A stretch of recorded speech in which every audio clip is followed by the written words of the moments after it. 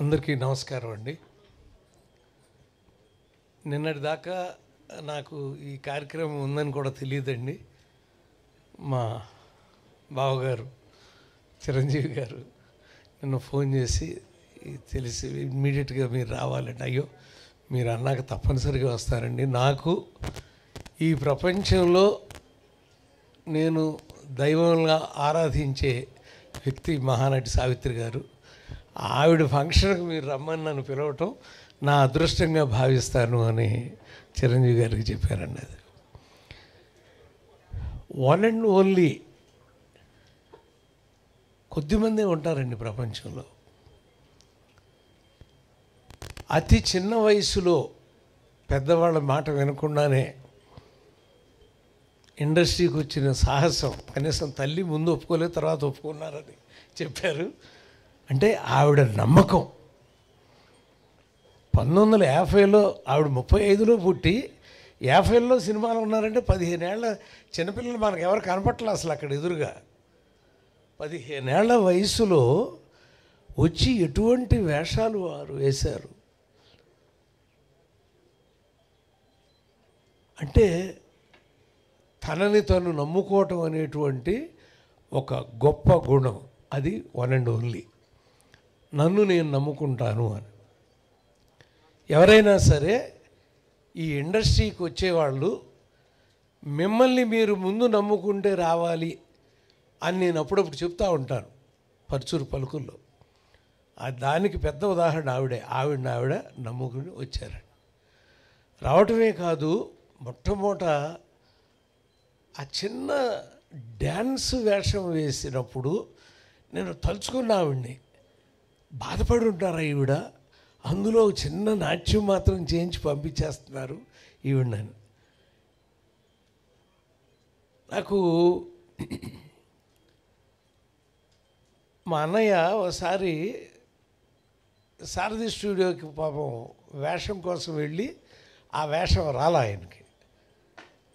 అప్పుడు మీ ఇద్దరు మాట్లాడుకున్నప్పుడు చెప్పాడు అలా వెనక్కి తిరిగి ఓ మాట అన్నాను రా వస్తా మళ్ళీ ఇక్కడికే వస్తా అని అనుకున్నాను రా అన్నాడు. మూడు వందల యాభై ఎనిమిది సినిమాలు రాసే రచయితగా ఆయన ఎంటర్ అయ్యాడండి. బహుశా సావిత్రి గారు కూడా అలాగే వెనక్కి తిరిగి వస్తా అని అనుకుని ఉండి ఉంటారు వన్ అండ్ ఓన్లీ. అంటే ఆ సంకల్ప బలం అనేది చాలా తక్కువ మందికి మాత్రం ఉంటుందండి. నెక్స్ట్ ఎస్వి రంగారావు లాగా ఎస్వి రంగారావు గారి లాగా ఆవిడ నటించేయటం ఏంటంటే అసలు? మధ్యలో వారి వాయిస్తో నటిస్తారు. నటించేసేసి అని మళ్ళీ ఏదో వాయిస్ చేంజ్ చేసుకున్నట్టుగా. ఏంటండి అది? చూస్తాను రంగారావు గారిని ఆవిడ అని అనిపిస్తుందండి మీకు ప్రపంచంలో ఉన్న అతి కొద్ది మంది నటీనటులకి నవరసాలని కళ్ళతో మాత్రం అభినయించి చూపించగలిగిన వాళ్ళు చాలా కొద్ది మంది ఉంటారండి.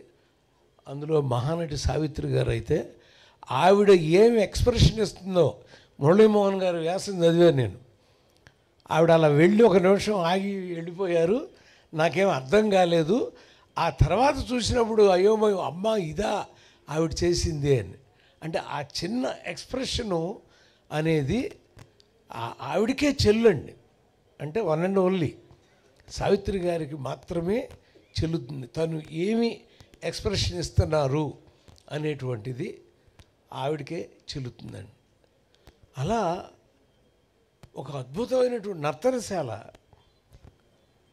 కీచకుడు వెంటబడినప్పుడు కానీ ఆ ఎస్వి రంగారావు గారితోనే అది కూడా.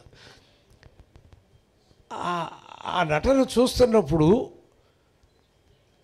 ఆ కీచకుడు ఒక్కసారి మీకు ఎవరికైనా దొరికితే చూడండి కీచకుడిని చంపేసిన తర్వాత ఆవిడ ఒక చూపు చూస్తుందండి. మీ ఎవరు ఎంతమంది గమనించారో ఆ చూపు నాకు తెలియదు కానీ ఒక్క చూపు చూస్తుందండి కీచకుడు చనిపోయినప్పుడు.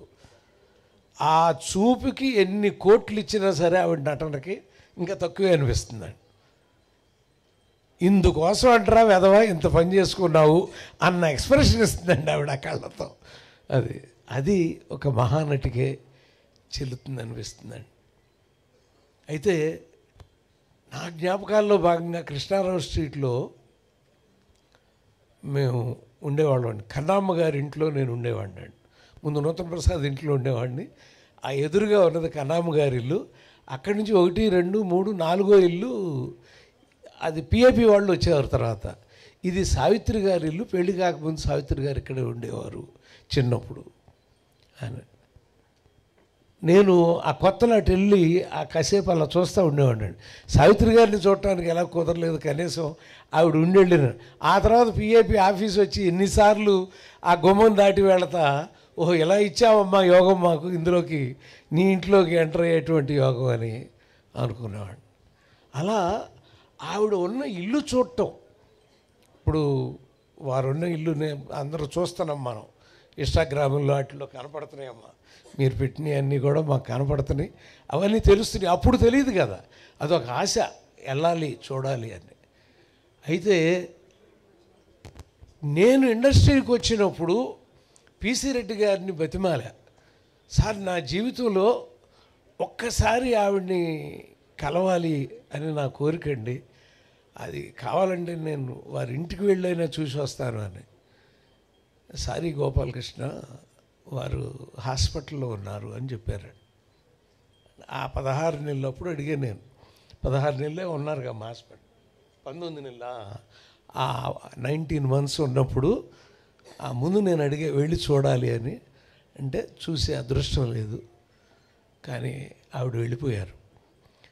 భౌతికంగా సావిత్రి గారు వెళ్ళిపోయారు కానీ వెండి తెరని ప్రేమించే కోటాను కోట్ల మంది ప్రజలు ఇప్పుడు మీ అందరి సాక్షిగా ఎన్ని కోట్ల మంది చూస్తారో నాకు తెలుసు ఈ కార్యక్రమాన్ని.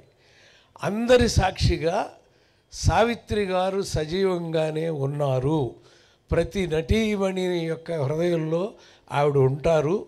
మనం నిత్యం ఆశీర్వదిస్తూనే ఉంటారని నమ్మే వాళ్ళలో నేను ఒకడిని అని తెలియజేస్తూ అమ్మ సావిత్రమ్మ నిన్ను చూడలేని బాధ నేను తీసుకుంటాను చాముండేశ్వరి గారిని చూసుకుని నీ బిడ్డను చూసుకుని తనలో నేను చూసుకుంటున్నానని తెలియజేస్తూ సెలవు తీసుకుంటున్నాను. నమస్కారం.